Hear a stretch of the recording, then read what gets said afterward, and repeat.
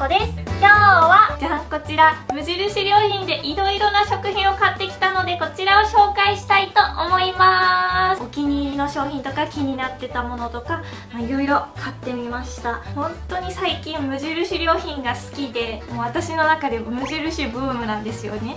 家の近くには無印良品がなくって少しね出かけないと買えないんですよね。なのでもうねまとめ買いしてきました。はい、はい、では紹介していきます。まずこちらレトルトカレーたち買いました。定番バターチキンジンジャーパネダール豆のカレービーフカレー。はいということで無印のカレーが美味しいってやっぱりいろんな人が言っていて多分私無印のカレー食べたことあるとは思うんですけど最近全然食べてなくってあそういえば食べたいと思って今回に4種類買いました。まあいろんなこれ以外にもいろんな種類があったんですがやっぱりねこのバターチキンカレーが美味しいでしょうっていうことでまずバターチキンカレー。レトルトなのでお湯で温めるかまあ電子レンジで温めたりもできるようなんですがお湯で温める場合は袋の封を切らずにこのまままま沸騰したお湯の中に入れて5分から7分加熱してください。で電子レンジで温める場合はだいたい500ワットで2分ぐらいで大丈夫みたいですね。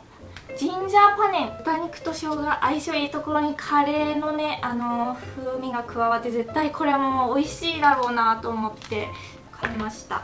あとは豆のカレー。体にも良さそうっていう感じ。今日はねこのジンジャーパネン食べてみたいと思います。はいカレーを温めてる間にこちら飲み物の紹介です。ハトムギレモングラスとアップルウーロン茶っていう2つ買いました。こっちのハトムギレモングラスは結構飲んだことあってレモングラスの爽やかな香りがしてハトムギでまろやかさも加わってルイボスティーも入ってるっていうことでこう心が落ち着くような味わいのお茶です。これもねなかなかコンビニとかに売ってないからこういうのいいなと思って。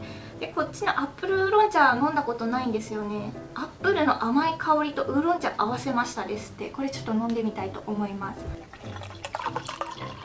アップルウーロン茶いただきます。うんあですけどなんとなくこうりんごの香りがするくらい甘いような気がするっていう感じ。アップルティーにウーロン茶を混ぜたっていうそんな感じの味。美味しい。じゃあ温まりました。美味しそう。豚バラ肉っぽいお肉と生姜の細切りとあと香りのするね葉っぱがね入ってますね。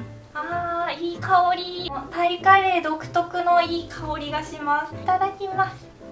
うん構辛いですね。美味しい。うん唐辛子の辛さプラスさらに生姜の辛さが結構効いてますね。美味しい。生姜の辛さが好きな方ぜひねおすすめです。あとはこちら。金目鯛ご飯の炊き込みご飯の素を買いました。これは、えっと、お米2合研いでこれを入れて炊き上げればもうね金目鯛ご飯ができるっていうめちゃくちゃいい商品ですね。これも絶対美味しい。あとはこちらごま味噌担々スープ。こんな感じ。いや絶対美味しいでしょう。麺だけスーパーで買ってきてこれをね温めてかければもう担々麺になるっていうやつで。まあ、あのこんにゃく麺にもかけても美味しいんじゃないかなと思います。あとはこちらウニクリームということで、えー、パスタにあるだけのパスタソースっていうことなんですけどこれはね前に食べ結構食べたことあってこのウニのね風味がいいんですよね。しかもこうパスタに茹でたパスタに絡めるだけだから本当に簡単にできるし温めたこんにゃく麺に絡めても美味しくなりますよ。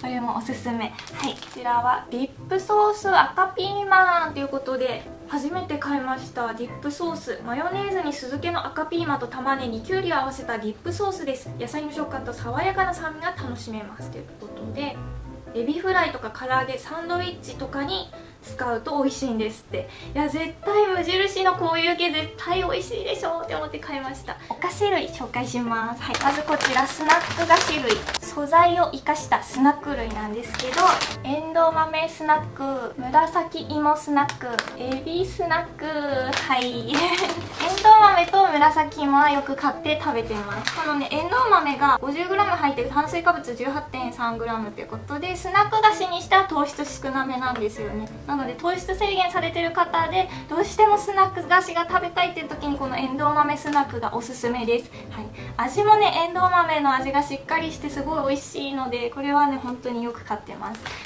あとはこれ紫芋。紫芋の優しいほんのりした甘さがあるのにちょっとね塩味もあったりしてこれもねほんと優しい味素朴な味っていう感じでこれもねすごい好きです。娘も好きです、このエビスナックは私食べたことないんですけどエビの風味するんですかね。ちょっと食べてみたいと思います。こんな感じで入ってます。いただきます。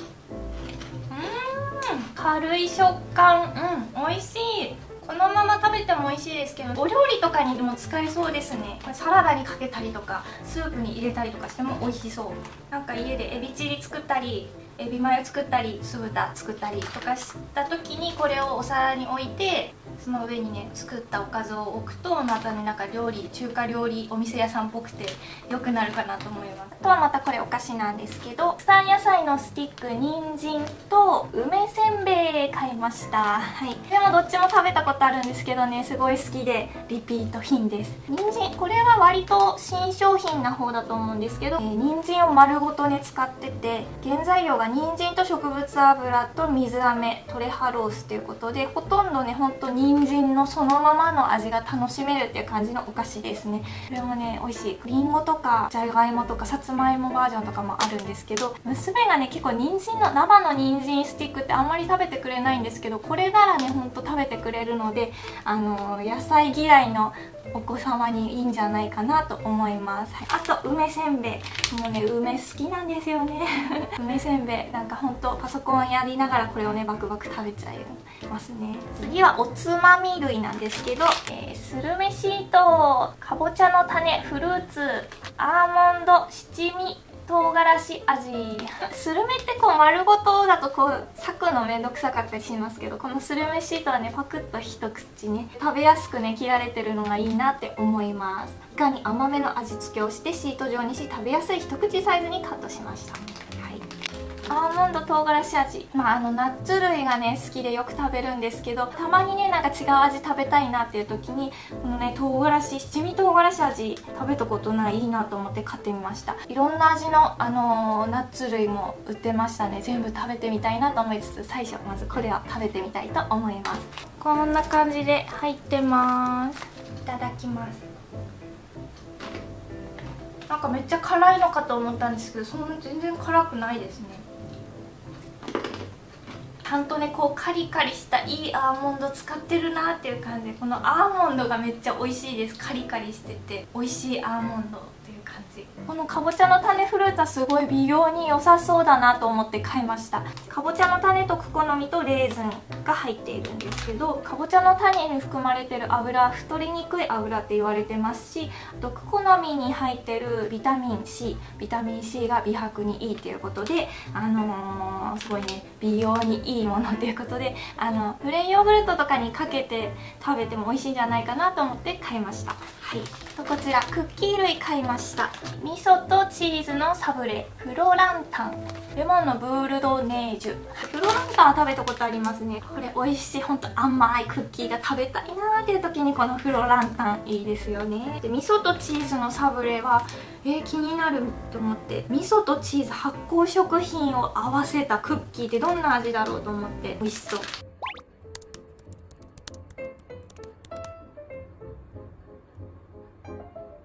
ちらレモンじゃない普通の白いやつといちごのやつは結構私本当に好きでよく食べるんですけどあのレモンの食べたことなくてあ絶対美味しいでしょうって思って買ってみました。食べてみたいと思います。かわいい。見た目は普通の白いいつもの定番のやつと一緒ですね。